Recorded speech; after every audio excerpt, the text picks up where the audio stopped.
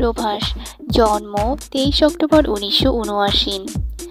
Telugu cinema একচেটিয়াভাবে অভিনয় করা একজন ভারতীয় চলচ্চিত্র অভিনেতা। তিনি মূলত তামিল এবং তেলুগু ভাষার ছবিগুলো অভিনয় করেন। তিনি তেলুগু অভিনেতা উৎপলপতি কৃষ্ণরামের রাজু ভাগ্নে। তিনি দু হাজার দুই সালে এসোয়ার ছবি দিয়ে চলচ্চিত্র জগতে আত্মপ্রকাশ করেন। তিনি এর বড় আরও বেশ কিছু ছবি যেমন ভরসাম দু ছত্রপতি দু হাজার পাঁচ, চক্রাম দু হাজার পাঁচ, মুন্না দু বিল্লা দু মিস্টার পারফেক্ট দু মির্চি দু তেরোতে অভিনয় করেন। দু হাজার চোদ্দ সালে তিনি প্রভুদেবা পরিচালিত বলিউডের একটি ছবি অ্যাকশন জ্যাকশন এর একটি আইটেম গানে অভিনয়ের মাধ্যমে হিন্দি ছবিতে হাজির হন। তার অভিনীত বাহুবলী দ্য কনক্লুশন দু হাজার সতেরো ছবিটি ছিল গ্লোবাল ভারতীয় চলচ্চিত্র সর্বকালের সর্বোচ্চ ও ভারতের সর্বোচ্চ ব্যবসা সফল ছবি।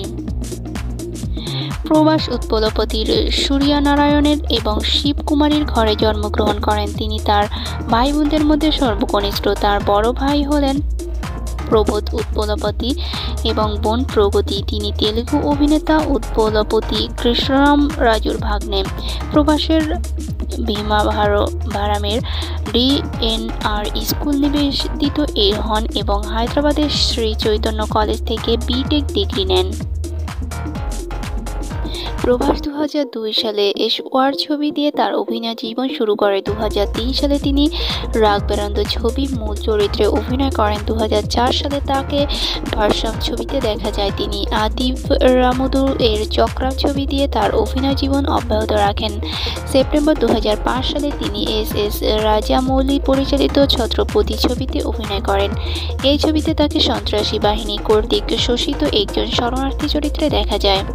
প্রায় চুয়ান্ন বারোটি কেন্দ্রের ছবিটি একশো দিন চালানো হয়েছিল। ছবিটি দেখে আইডল ব্রেইন এর বিবৃতিতে বলেন, প্রভাসের পর্দায় উপস্থিতিতে একটি অনন্য শৈলী এবং পৌরুষপূর্ণ আকর্ষণ লক্ষণীয়। পরে তিনি তার আরও বেশ কিছু ছবি যেমন পৌরনামাই, যোগী ও মুন্না ছবিতে অভিনয় করেন। দু হাজার সাত সালে তিনি একটি অ্যাকশন ড্রামা ছবি করেন এবং এর ঠিক পরপরই তার অ্যাকশন কমেডি ধর্মীয় বুর্জিগারু ছবিটিতে আসে দু হাজার আট সালে দু হাজার নয় সালে তার আরও দুটি ছবি বিল্লা ও এক নিরঞ্জনা আসে। ইন্ডিয়া গ্লিটার্স অনুসারে তার অভিনীত বিল্লা ছবিটি ছিল দৃশ্যনের দিক দিয়ে সমৃদ্ধ। দু হাজার দশ সালে তিনি রোমান্টিক ধর্মীয় কমেডি ছবি ডার্লিং করেন এবং দু হাজার এগারো সালে হাজির হন মিস্টার পারফেক্ট ছবি নিয়ে। দু হাজার বারো সালে প্রবাস রাঘব লরেন্স দ্বারা পরিচালিত অ্যাকশনধর্মী ছবি রেভেল এ অভিনয় করেন। এই সময় তিনি দেনিকাইনা রেডি ছবিতে তার কণ্ঠ প্রদান করেন।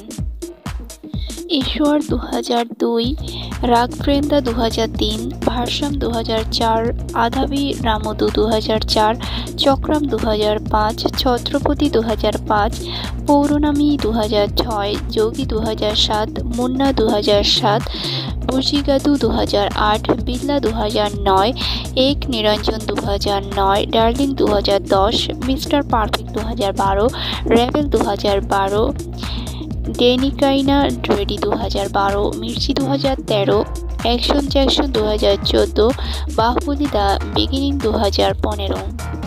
বাহুবলি দ্য কনক্লুশন দু হাজার সতেরো, শাহ দু হাজার উনিশ, তার অভিনীত চলচ্চিত্র।